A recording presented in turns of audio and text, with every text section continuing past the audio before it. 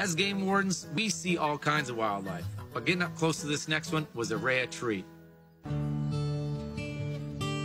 In Skowhegan, Maine, Warden Jonathan Parker heads to the scene of an unusual wildlife rescue.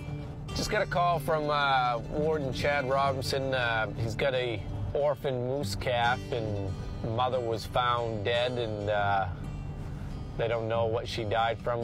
You know, possibly even uh, giving birth. Sounds like they're going to be transporting it down to the Gray Wildlife Park. But I'll find out more when I meet up with Chad, see if he needs a hand uh, with this moose. Maine is home to the highest moose population in the lower 48.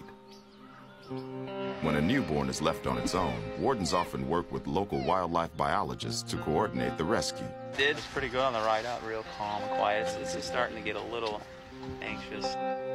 Someone had uh, found a, a, a, dead female moose, and they, upon looking at it further, they found this this newborn. Get her? Yep. Moose are solitary and don't travel in herds. The strongest bonds they form are between a mother and her calf. Without that connection, orphans are extremely vulnerable. Uh, stretch them legs. It's been a long ride, hasn't it? Huh? You know, not many people get to see a moose calf up close like this. That's the benefits of being a Maine game warden. It's amazing they can go from this to 800 plus pounds. I know, huh?